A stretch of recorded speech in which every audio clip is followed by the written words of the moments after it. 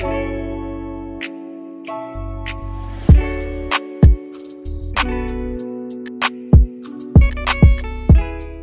is it going, Bears fans? Welcome back to another episode of Beared Down Uncut, where we talk everything Bears every day of the week. Today, in episode number 81 of Uncut, we are going to be discussing whether or not Mitchell Trubisky can keep up the late game magic that we saw him produce in Detroit yesterday throughout the season, obviously more consistently than just in the fourth quarter. I would like to say before we kick this one off, Let's try and set a like goal on this video for 50 likes. You guys have been absolutely killing it with the support recently. Uh, we recently did hit 2.5 thousand subscribers, so I would like to say thank you, everyone on YouTube, so much for that. Uh, the grind to 3,000 is now on. We're going to keep putting out content every day of the week. So if you do want Bears content every day of the week, do us a favor and subscribe. Uh, also, click the bell for notifications whenever we post. I am your host, Chris Malpe. And today, uh, to discuss all things Mitchell Trubisky, I am joined with both of my co hosts, Parth Shaw and Jaylen McClinton. How's it going, fellas? Uh, how does it feel uh, to wake up on a victory Monday? It, it felt amazing. I'm not going to lie. Uh, you know, with the th- way things were going yesterday, I didn't think I'd wake up in a good mood today, but, you know, Trubisky, Mr. Prime Time, uh, fourth quarter Mitch, stepped it up and made sure that we all had a good week. And let's we're on to Giants now, but let's talk about some Trubisky right now. Um, it feels good for me too. You know, I've never watched like with my own eyes the Bears go one to zero in a long time, and it and it just feels good because you know the the good thing about going one and zero, it's a chance for you to go on two, and um, that's all that matters. Yeah. Uh, so uh, one more thing I would like to say before uh, we get started. There's a lot of people in the comments that want us to improve our audio and such. Um, the way we record is in house, so my audio uh, on my end always tends to be a little bit better.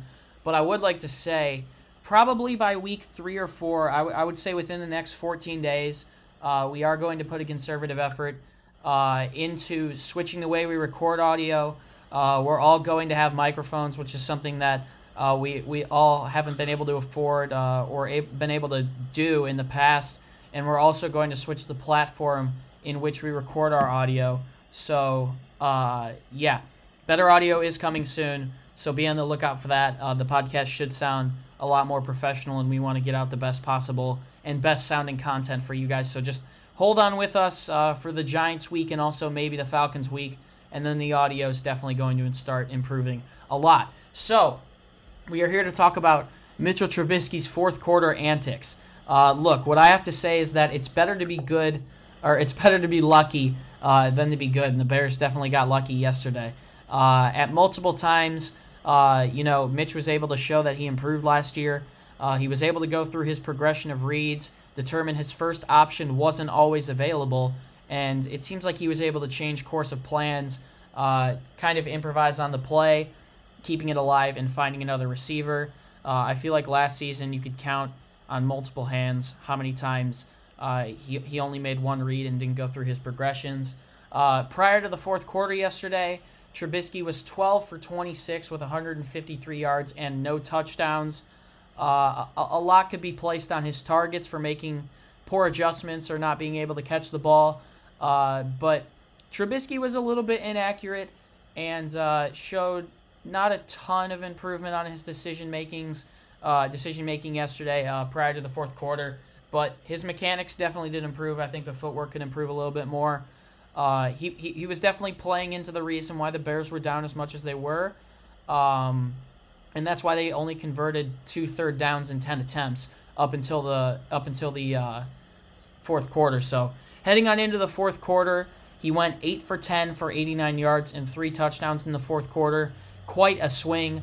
Uh, according to NFL Next Gen Stats, three of his touchdowns in the fourth quarter uh, were all in what NFL Next Gen Stats call a tight window, meaning less than one yard of separation.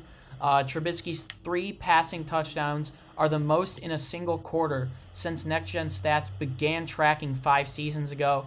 Look, uh, I think we can all agree here. The Bears' offense is at its best when Mitchell Trubisky is not thinking.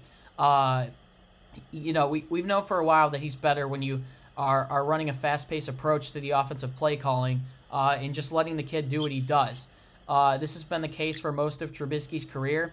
Uh, I think we can all agree that he tends to overthink his reads when his back is uh, or when his back is is not against the wall. But when it's crunch time, when the Bears need something to happen, uh, Trubisky did come through yesterday, and we're here today to discuss whether or not he can keep that up consistently, not only in Week Two against the New York Giants, who uh, are slated to play tonight against the Pittsburgh Steelers, but also throughout the rest of the season. Because once again, we can all agree that you can't be digging yourself that big of holes and expecting comebacks each and every week. So, Parth, I want to start with you. We saw Mitchell Trubisky put on one of the best performances we've seen in his career uh, yesterday, and probably have seen one of the best throws he's ever made in his career to Anthony Miller in that corner, very similar to the Thanksgiving game from 2019. So, do you think Trubisky can keep this play up consistently uh, throughout the season? I mean, obviously, you can't expect that week in, week out with how inconsistent he's been throughout his career, but do you think that Trubisky can kind of streamline this out and, and be more consistent with that fourth quarter late game play? 100%. Uh, I think what we saw in the fourth quarter is what this offense is going to be this year. Uh, the identity is there. We're, we're a balanced, balanced offense, which helps out Trubisky a lot. The offensive line, in my opinion, was very good yesterday, which also helps Trubisky out. And uh, in, the, in the first three quarters, we saw many of the times the receivers didn't fully run their routes, like with Allen Robinson. We saw that uh, Jimmy Graham mistimed one of his jumps, uh, which led to a drop. And then here and there, we saw a couple inaccurate throws. But for the most part, I thought he was fine in the first three quarters. Uh, we weren't able to convert in the red zone, which you know looked really bad on his part. But other than that, I thought the first three quarters were decent. But in the fourth quarter, we saw the team able to make some plays. The receivers were catching some tight contested balls. Uh, he was super accurate. Like you said, he had three three touchdown. All three of his touchdown throws came on one yard separations, which is phenomenal if you think about it. And uh, so if we can keep keep, keep it keep coming, not think like he's like he said in his press conference. Uh, if he doesn't, if he stops thinking, I think he's going to become a great quarterback for the Bears, uh, and we could still see that improve as time goes on. Yeah, and one thing you could also tell yesterday is that the weapons are definitely there. Uh, a little bit of a slow start for Allen Robinson, but we saw him with an incredible circus catch uh, there at the end of the third quarter. Darnell Mooney with uh, three catches for 38 yards. Uh, he's quite the weapon, looking like uh, a grizzled veteran, but he's just a rookie. And then obviously, Mike Furrey said it in an interview earlier today. Uh, you know, we're on the cusp of seeing what Anthony Miller is going to end up becoming and, and his involvement in this offense. So uh, the weapons are there for Trubisky. Uh, we also saw uh, an improved tight end game yesterday. We didn't see anything from Cole Kmet, but I think that's the most Jimmy Graham has done in a game for quite some time, and he wasn't too terrible. Uh, dropped two balls that were quite important that probably could have been touchdowns, but outside of that, he was there when he needed to be, and the tight ends were good in blocking. We saw no penalties against anyone on the offensive front, so uh, I, don't think we can complain with that. It, it, it just comes down to Trubisky. You said it, Parth, getting out of his own head and being able to perform consistently like he was in that fourth quarter. Because if we want to be able to beat teams that are good, uh, we got the New York Giants next week. Uh, I guess maybe, uh, and we have to watch their film from tonight. Depending on how they play, depending on how Daniel Jones has progressed, might be able to get in a little bit of a hole against them. But against good teams like Tampa Bay, uh, even the Indianapolis Colts, who lost to the Jaguars yesterday, a team that can be consistent. Uh, the Atlanta Falcons, who put up a good fight against uh, Seattle. Against those good teams, we're going to be able to have. We're going to need to have consistent play. So, Jaylen, do you think he can keep this fourth quarter magic up? And what do you think this win yesterday does for his confidence? it's a it's a huge boost in his confidence. You know, during his press conference yesterday, like the whole time he was answering questions, he had a huge smile on his face, and I haven't seen something from Mitchell in like in in, the, in a year or so like that. Even when he was talking about getting a starting job, you know, he was he was serious. He had a serious face. You know. Um, not much excitement there. So him having a, a, a smile on his face just, just you know, gets me excited for what what's yet to come this season. Um, like I said, it's a couple things that the, this offense still needs to work on. You know, he had like the one you know pass that he threw that was terrible was to Ted Ginn. Uh, was behind him. He didn't even get taken a chance to, to catch the ball. And some of his other throws, you know, he, I'm pretty sure he wanted back. A lot of drop balls too. But um, this this fourth quarter that he had yesterday, um, if we can continue, if we can continue continue this and keep this up, and you know still have a running game, this offense, I don't think it's going to be elite, but it's going to be able to put points on the board with this defense. Yeah, uh, it's definitely also going to come down to the defense stepping up. Uh, they were inconsistent at times yesterday, but hoping they can be better. Uh, I think we all hope that not only will this be a big boost of confidence for Mitchell Trubisky, but it'll lead to him playing more consistently uh, in the games down the road that are quite important because the Bears' easiest uh, stretch of the schedule definitely comes in these first four weeks before they face uh, a, a, tough challenge, a team that lost yesterday, but still quite the tough challenge in week five when they host Tampa Bay. Thank you guys so much for tuning into episode number 81 of Uncut. If you want more content from us, head over to our website, beareddown.com. Uh, you guys have been seeming to like the articles on there for those of you who have been visiting recently uh, because there was a spike.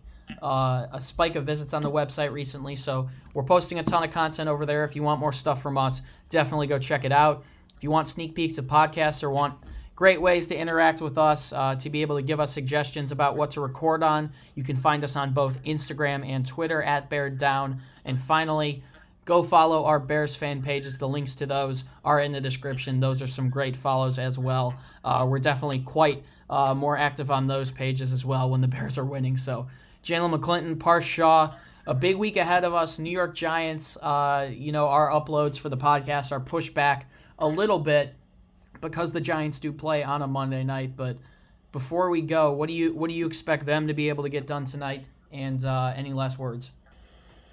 Uh, I'm excited to see how the Giants play tonight. Uh, I think they play the Steelers, if I'm yeah, not wrong. Pittsburgh. Uh, but yeah, they play Pittsburgh. Uh, they got decent off weapons on offense. If Daniel Jones can take a leap in year two, which I feel like he will, uh, the Giants can be a pretty scary team and uh, we did face them last year, and we did squeak out a win last year. So let's see what happens tonight, and uh, review some film, and then head into week two. Yeah, same here. Um, I want to see how Daniel Jones and Saquon Barkley and all those weapons on offense do against Pittsburgh defense. Pittsburgh has a very solid defense. It kind of turned it around for them last year. Almost gave them a playoff spot, but um, that's about it. Um, we have football today, and that's that's all. You know, I can't be mad at that at all. yeah. Uh, a doubleheader tonight on Monday Night Football. We've got Steelers, Giants, and then Broncos, Titans. Should be a good night. Uh, definitely a late night of film review for us as we make our week two preparations. But it should be a good week, and let's hope Mitchell Trubisky can keep playing like he did in that fourth quarter when he comes back home to Soldier Field on on a uh, Sunday uh, to face the Giants. It's been a pleasure to be your host once again. My name is Chris Malpe. Bears fans, enjoy this Monday. We're one and zero oh for the first time since 2013. And do us a favor, as always, stay safe and bear down. We'll see you in the next one. Peace.